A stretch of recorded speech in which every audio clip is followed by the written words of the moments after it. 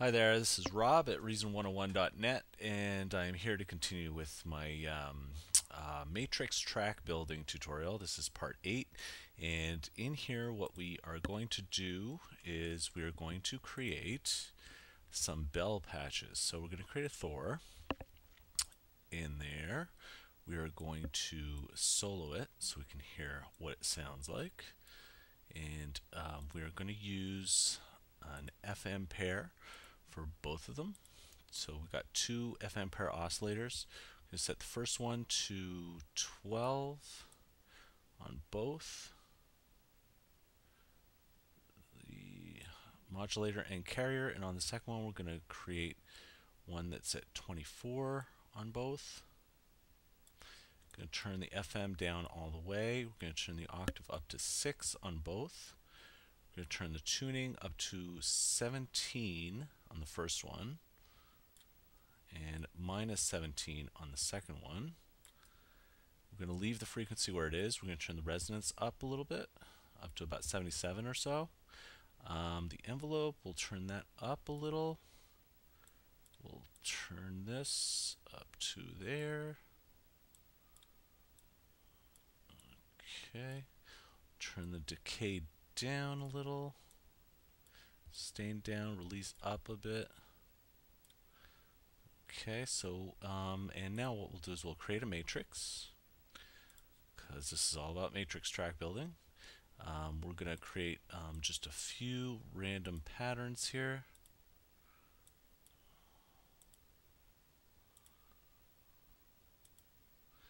And let's see how that sounds.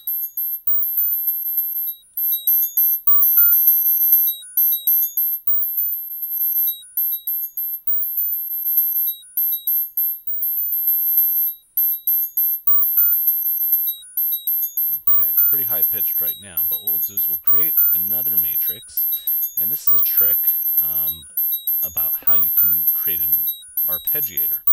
Um, so what we're going to do is we're actually going to arpeggiate things. Um, but so we'll take the curve of the second matrix, and we'll send that into CV1. Flip it around. Um, let's turn on the delay as well as the chorus turn the time down to 3 16th. Turn the dry wet up.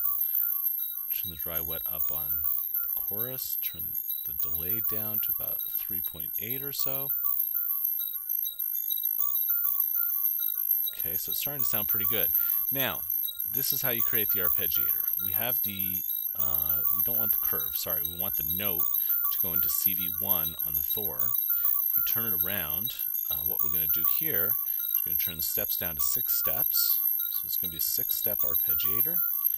And uh, what we're going to do under here, under the modulation bus routing, is we're going to take CV input 1, 100 amount, and the destination is going to be the pitch of oscillator 1. Same thing, um, this is going to be the pitch of oscillator 2. So the CV1 is affecting the oscillator 1 pitch and the oscillator 2 pitch. So whatever we program in here, uh, let's see, where do we want to go?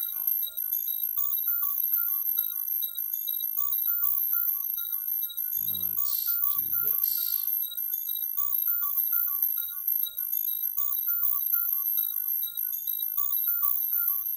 And let's see how that sounds. Okay, so that's arpeggiating this. This is playing the notes and the gating, and then this is actually um, the arpeggiator notes.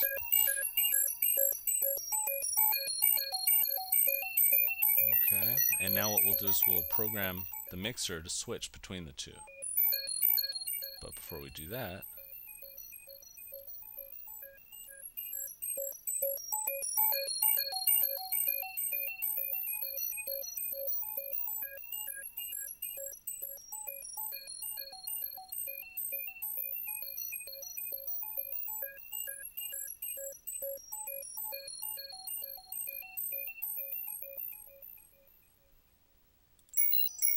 actually have to turn it on.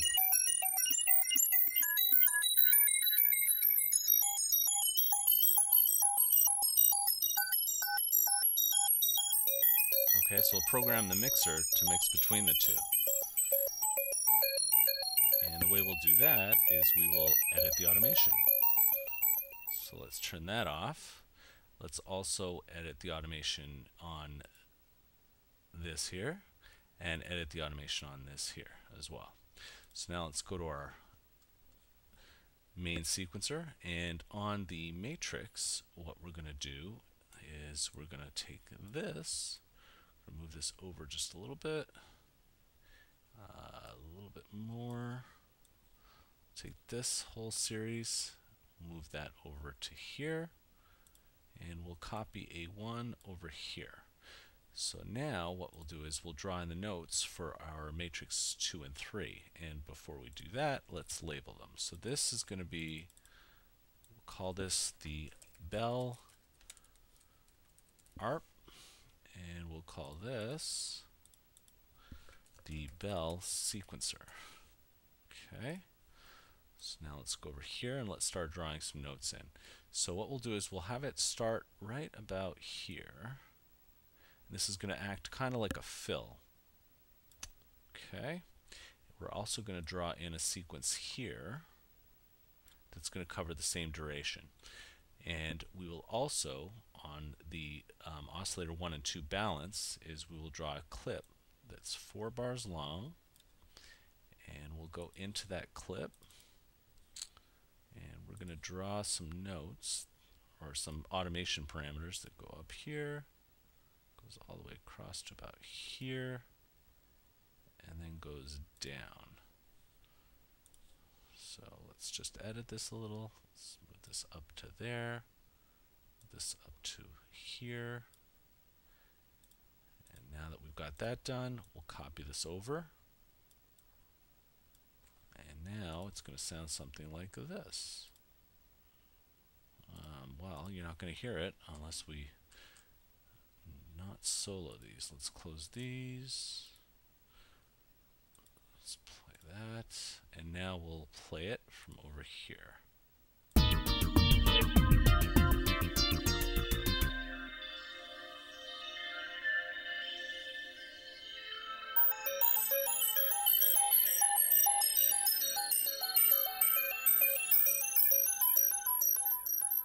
Okay, it sounds pretty good, but it sounds a little harsh. So what we'll do is we'll um, select the Thor, right click, and we'll create a reverb.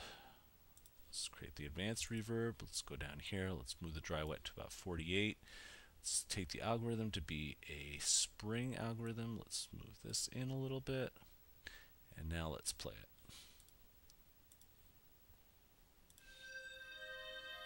I'll also move the volume down a little bit.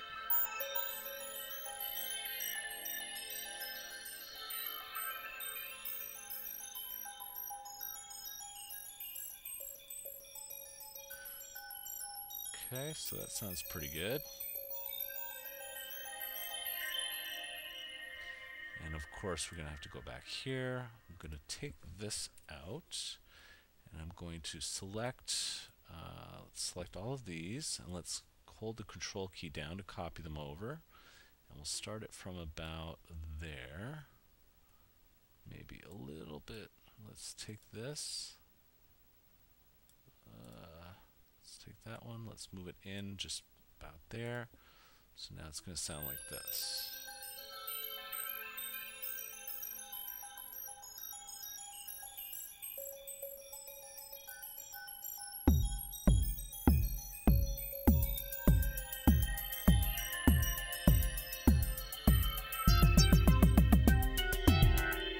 Now we also have to take this and move it over a little bit this over here so that the drum roll starts right where we want it to.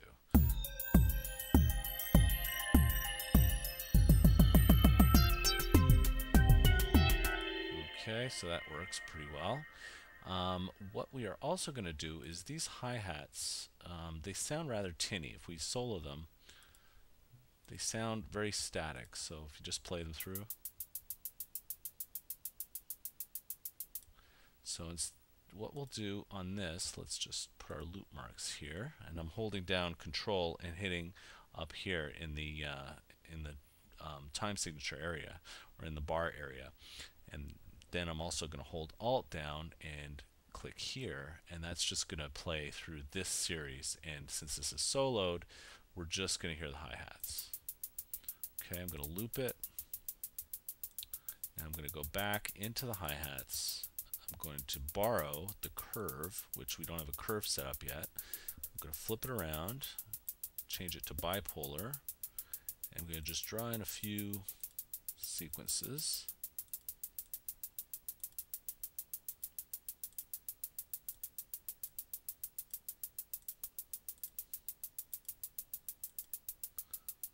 Okay, and then flip it around again.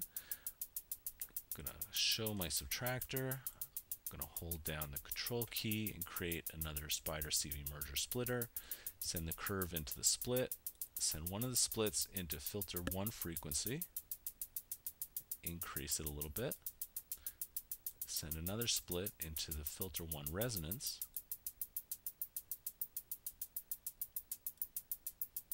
And now you can hear a little bit of modulation happening.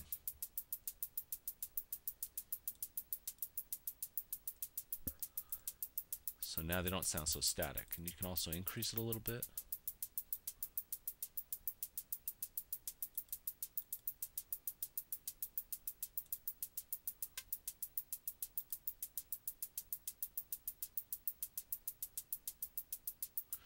Okay, so that sounds pretty good.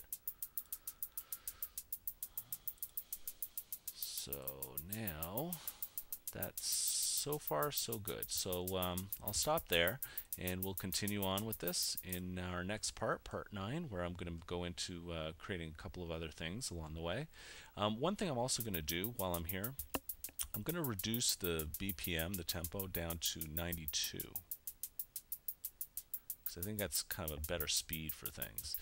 Um, so just keep in mind you can always change that tempo um, at any point in time in your track, especially if you're working with uh, pattern music, because it's it'll all fold into the same tempo. Um, all the tracks will be the same tempo and they'll all work together. So um, that's what I'm going to do on this track. And uh, come back where I will show you a little bit more about how to finish off this track and how to keep moving with it. But at least you've learned how to create an ARP with the an arpeggiator with the matrix. So um, yeah, come back. I'm Rob, and uh, you can visit me at reason101.net. Thanks for watching.